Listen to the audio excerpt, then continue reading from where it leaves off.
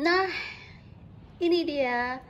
Seperti dibilang, penuhi piringmu dengan sayur dan buah. Ini tadi ayam aku beli di itu ya di apa tadi di apa kram apa itu yang penjual tiap hari Kamis dia menjual ayam ini anak yang ayamnya enak sekali dipanggang terus ada uh, sambalnya di sini pakai uh, bawang putih satu terus peras air jeruk nipis terus ada daun apa ini uh, basilikum terus ada ini apa ini namanya?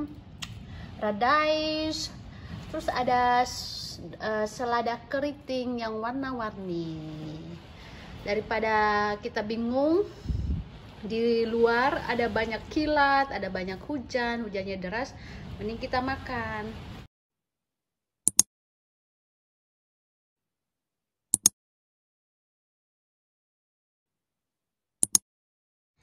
ada sambal Bu Rudi pertama kali memakan sambal hijaunya yang sambal.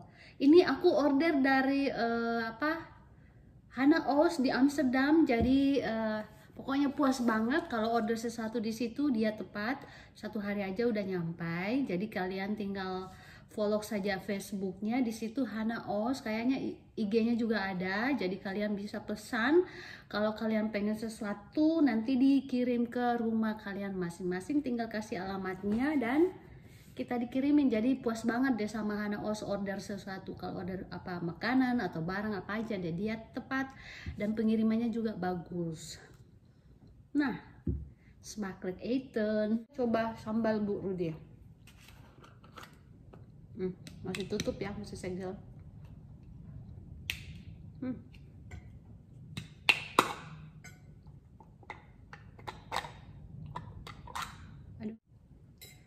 kita cobain. Wow. Ini kan nasinya panas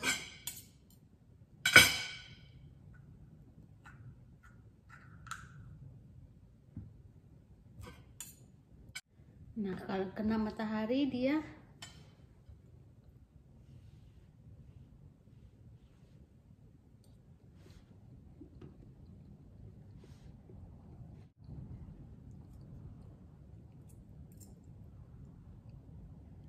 kita coba sambal Bu Rudi sambal hijaunya yang ini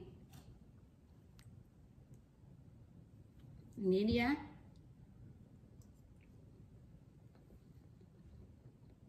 Hmm.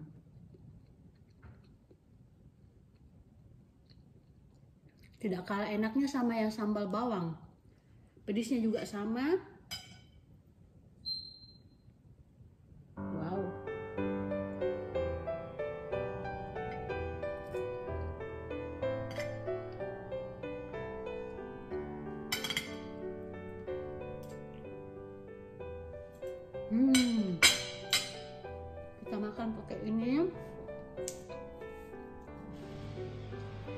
celup di sini.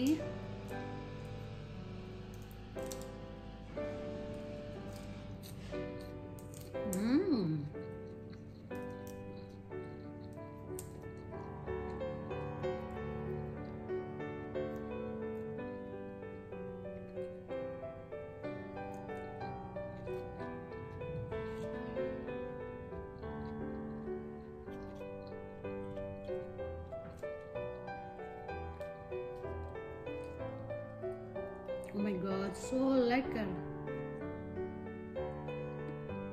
Hmm.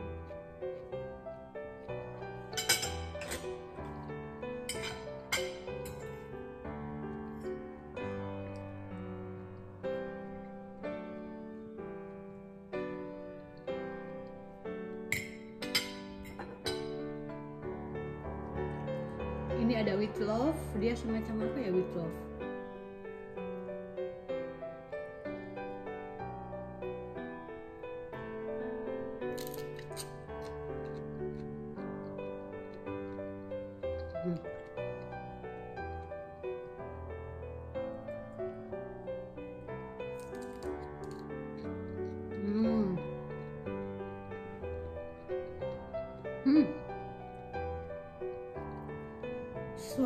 Lekker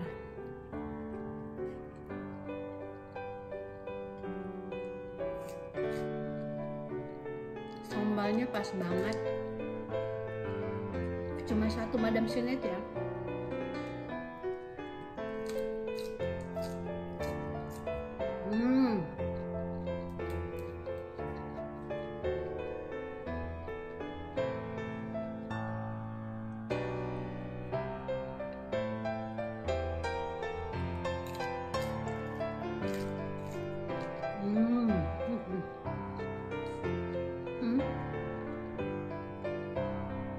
knife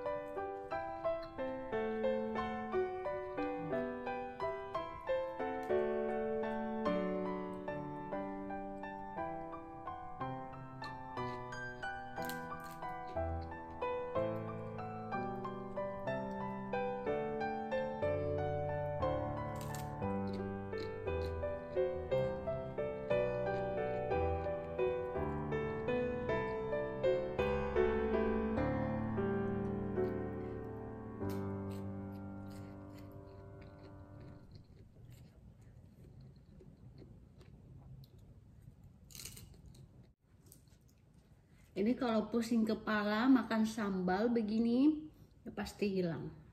Begitu begitu triknya kalau saya makan sambal dia hilang.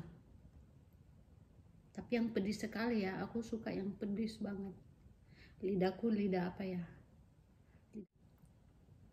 So,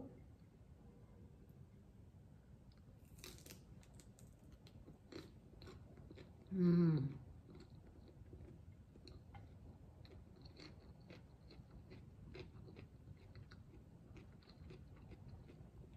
Jadi ini yang segar, sambal segar ini.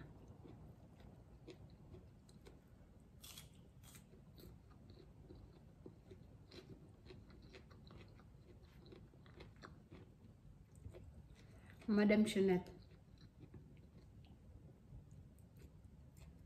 Aku tuh suka makan lat-lat ya, kadang jam 3, jam 4.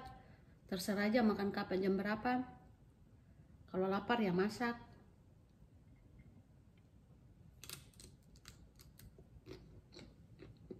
Hmm.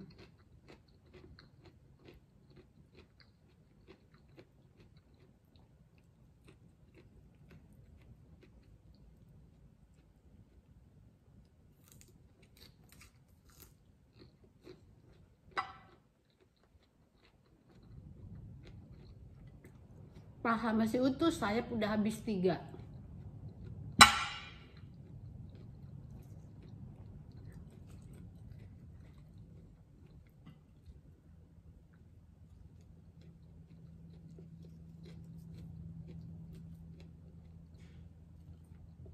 Mhm.